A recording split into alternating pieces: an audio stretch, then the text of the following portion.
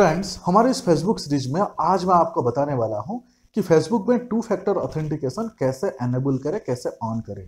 आपने बिल्कुल सही सुना। फ्रेंड्स आजकल बहुत सारे लोगों के मैसेज आ रहे हैं कि उनका फेसबुक अकाउंट हैक हो रहा है।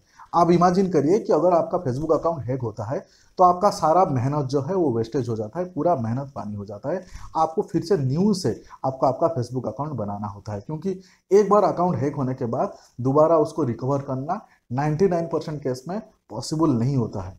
ऐसे केस में आपका अकाउंट को सिक्योर करना ज़रूरी है और सिक्योर करने के लिए टू फैक्टर ऑथेंटिकेशन बहुत ही इंपॉर्टेंट रोल प्ले करता है। यानी अगर आप टू फैक्टर ऑथेंटिकेशन एनेबल या ऑन कर लेंगे, ऐसे केस में कोई न्यू लोकेशन, न्यू डिवाइस या न्यू ब्राउज़र से आपके अकाउंट पे जब लॉगिन करने के लिए कोशिश करेगा, ऐसे केस में आपको इमीडिएटली नोटिफिकेशन आएगा और आपके अप्रूवल के बिना वो लॉगिन कर ही नहीं सकते। इवन आपको समझ में आएगा कि कौन से लोकेशन से, कौन से डिवाइस से, कौन, क्यों, कब लॉगिन करने के लिए कोशिश कर रहा है तो आप हमेशा अलर्ट रहेंगे तो आप चेक भी कर पाएँगे। तो इसके लिए ये जो सेटिंग्स है, बहुत ही ज़्यादा इंपॉर्टेंट है आपका फेसबुक अकाउंट को सिक्योर करने के लिए। ये कर लेना ज़रूरी है। हर कोई फेसबुक यूज़र को ये सेटिंग्स जो है एनेबल करना ज़रूरी है। तो कैसे करते हैं, मैं आपको इस वीडियो में प्रैक्टिकल करके बताऊँगा। फ्रेंड्स वीडियो बहुत इंपॉर्टेंट है। आपको एंड तक बने रहना है। एंड में अगर आपको कुछ वैल्यू मिले तो प्लीज़ लाइक कमेंट शेयर ज़रूर करना। हाँ फ्रेंड्स अगर आप हमारे चैनल को अभी तक सब्सक्राइब नहीं किए हैं, आपको मेरा रिक्वेस्ट है प्लीज़ सब्सक्राइब कर लेना। चलिए, शुरू करते हैं।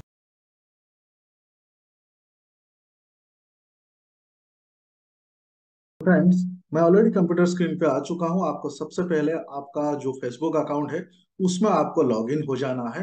लॉगिन होने के बाद आपको टॉप पे राइट हैंड साइड पे आप देख सकते हैं मेरे माउस जहाँ पे है, वहाँ पे अकाउंट लिखा हुआ है। जैसे माउस ओवर करेंगे तो अकाउंट दिखाई दे रहा है, या फिर आपका प्रोफ़ाइल पिक्चर दिखाई दे रहा होगा वहाँ पे वहाँ पे आपको करना होगा क्लिक जैसे आपने क्लिक किए यहाँ पे आप देख सकते हैं नीचे ड्रॉप डाउन में सेटिंग एंड प्राइवेसी लिखा हुआ आ गया। अब ये सेटिंग एंड प्राइवेसी पे आपको करना होगा क्लिक जैसे ही मैंने सेटिंग एंड प्राइवेसी पे क्लिक किया, और एक छोटा सा पेज ओपन हो गया, जहाँ पे लिखा हुआ है सेटिंग्स तो ये सेटिंग्स पे आपको करना होगा क्लिक सेटिंग्स पे क्लिक करने के बाद इस टाइप का एक न्यू पेज ओपन हो गया. लेफ़्ट साइड में बहुत सारा ऑप्शन आप देख सकते हैं. उसमें से ये सिक्योरिटी एंड लॉगिन उस पर आपको करना होगा क्लिक जैसे ही आप सिक्योरिटी एंड लॉगिन पे आप क्लिक करेंगे, यहाँ पे आप देख सकते हैं एक न्यू पेज ओपन हुआ. यहाँ पे थोड़ा सा नीचे हमें स्क्रॉल डाउन करना है. आप देखेंगे, मैं अगर थोड़ा सा नीचे स्क्रॉल डाउन करूँ, यहाँ पे लिखा हुआ है टू फैक्टर ऑथेंटिकेशन अब हमें टू फैक्टर ऑथेंटिकेशन जो है, इसको ऑन करना है. ये क्या लिखा हुआ है? यूज़ टू फैक्टर ऑथेंटिकेशन तो यहाँ पे टू फैक्टर ऑथेंटिकेशन ऑन करने के लिए ये अभी मेरा ऑन नहीं है। यहाँ पे हमको करना होगा एडिट पे क्लिक जैसे एडिट पे क्लिक करेंगे, एक न्यू पेज ओपन हो गया। ये जो न्यू पेज ओपन हो गया, यहाँ पे ये तीन ऑप्शन दिया है, जो सबसे बेस्ट ऑप्शन है। ये टेक्स्ट मैसेज वाले ऑप्शन आपको यूज़ करना है। ये टेक्स्ट मैसेज वाले ऑप्शन पे आपको यूज़ टेक्स्ट मैसेज एसएमएस आपको क्लिक करना है।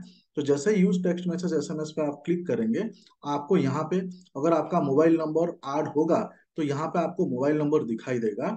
अभी यहाँ पे अगर मान लीजिए कि आपका मोबाइल नंबर ऐड नहीं है तो यहाँ पे आप आड फ़ोन नंबर करके आप डाल सकते हैं। यहाँ पे आप फ़ोन नंबर ऐड कर सकते हैं। अभी मान लीजिए कि मेरा मोबाइल नंबर ऐड है जो नंबर मैं यहाँ पे सिलेक्ट कर लेता हूँ।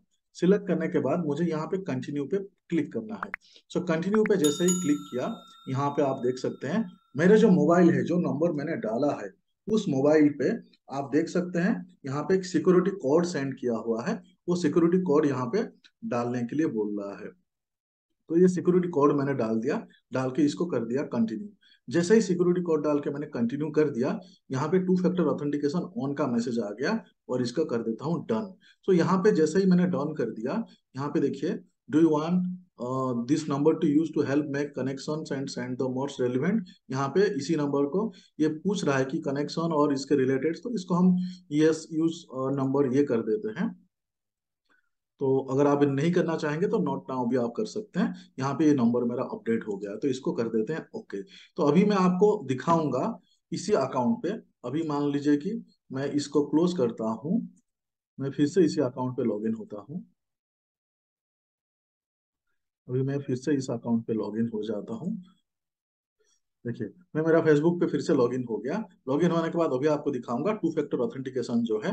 आपको ये अकाउंट्स पे जाना है सेटिंग एंड प्राइवेसी पे जाना है। फिर से सेटिंग्स पे आपको क्लिक करना है। सेटिंग्स पे क्लिक करने के बाद यहाँ पे आप सिक्योरिटी एंड लॉगिन आपको लिखा हुआ आ रहा है और इसके बाद थोड़ा सा आप नीचे आएँगे। अभी देखिए ये टू फैक्टर ऑथेंटिकेशन ऑन लिखा हुआ आ गया। पहले ऑफ़ था, यहाँ पे कुछ भी नहीं था, अभी ये ऑन लिखा हुआ आ गया। तो आपको ये चेक कर लेना है कि आपका ये इस टाइप के ऑन लिखा हुआ आया है कि नहीं आया है। अगर ऑन लिखा हुआ इस टाइप का ब्लू कलर में आया तो आपका अकाउंट सिक्योर हो गया, यानी आपका account two factor authentication on हो गया। सो so फ्रेंड्स इस तरीके से आप आपका फेसबुक अकाउंट का टू फैक्टर ऑथेंटिकेशन आप ज़रूर यूज़ करिए। यहाँ पे एक सिक्योरिटी रीजन में बताऊँगा। जो मैं अभी वीडियो शूट करते वक्त आपको मेरा नंबर दिखाई दिया, आपको आपका नंबर किसी को दिखाना नहीं है कि कौन से नंबर आप यहाँ पे security reason point of view आपने डाले हैं, वो नंबर किसी को दिखाना नहीं है। अगर आप दिखाओगे तो दिक्कत हो सकते हैं। अकाउंट सेक होने का एक रीजन होता है। तो आप इन नंबर को हमेशा हाइड रखिए, किसी को शेयर मत करिए। सो फ्रेंड्स आप मुझे कमेंट्स में बताना ये वीडियो कैसे लगा और प्लीज़ लाइक, कमेंट, शेयर ज़रूर करना। फ्रेंड्स उम्मीद करता हूँ आपको वीडियो पसंद आया होगा। अगर आपको वीडियो पसंद आया है तो प्लीज़ लाइक, कमेंट, शेयर ज़रूर करना।